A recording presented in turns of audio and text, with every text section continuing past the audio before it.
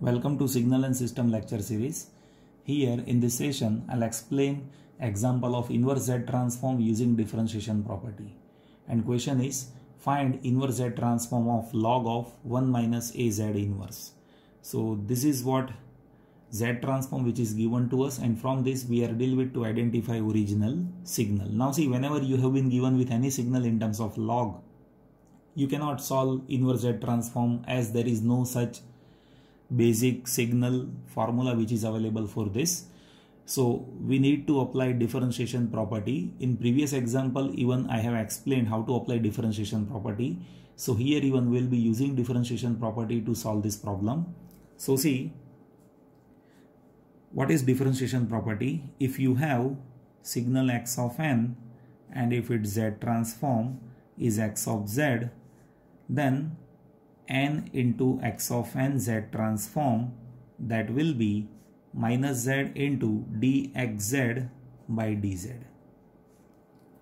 So here we are deal with to do this operation dxz by dz first then we'll multiply minus z with it and then we will take inverse z transform of it and from that we can have value of x of n so this entire process that we are deal with to do in this problem so here x of z that is given to us so first let us do this basic operation dxz by dz so that is what d by dz of this log of 1 minus az inverse. So if you do this operation, differentiation of log that is 1 by that function, so 1 by this function 1 minus az inverse into differentiation of this term. So differentiation of 1 is 0 minus a is constant and differentiation of z inverse that is z to the power minus 2 into minus 1 and entirely we can say minus minus will get plus. So this is a z raised to minus 2 divided by 1 minus az inverse. So this is what? dxz by dz now see as I have told you we need to have this form minus z into dxz by dz. So now I'll multiply z with this. So if I multiply z with this, z into minus z with this. So minus z into dxz by dz then minus z into az raised to minus 2 divided by 1 minus az inverse.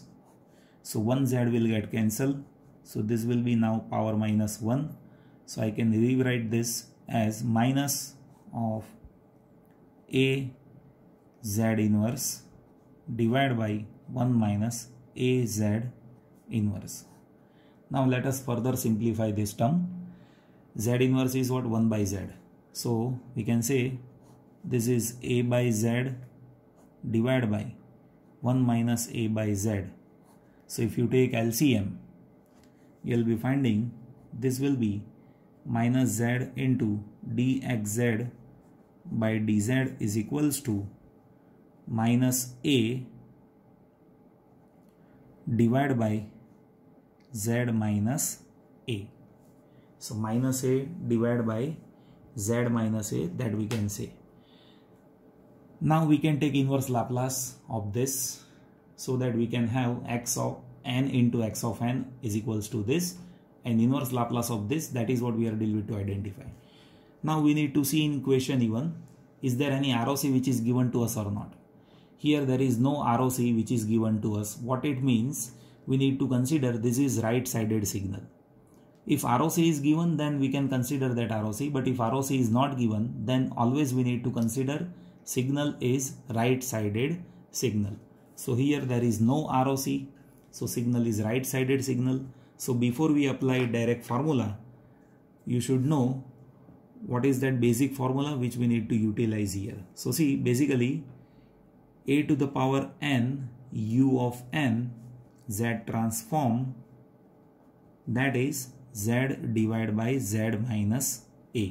Now what we want we wanted to have this formula right?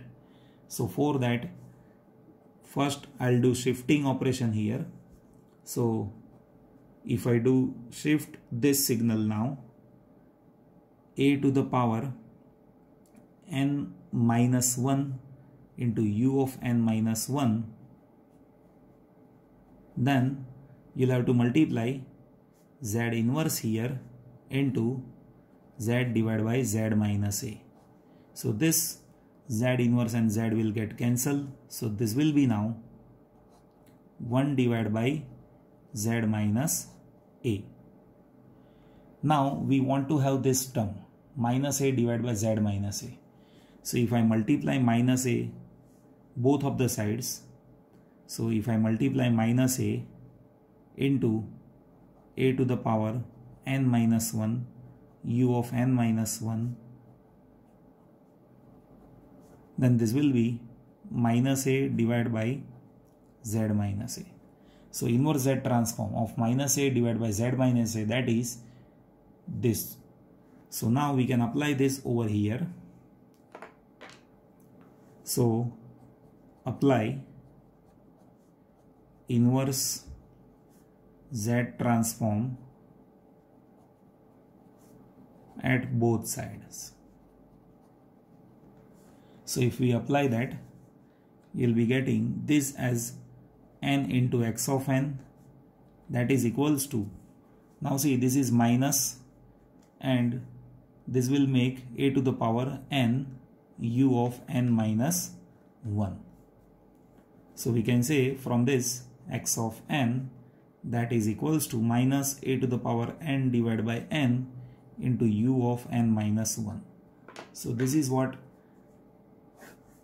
original signal which we have it from inverse Z transform of inverse Z transform of log of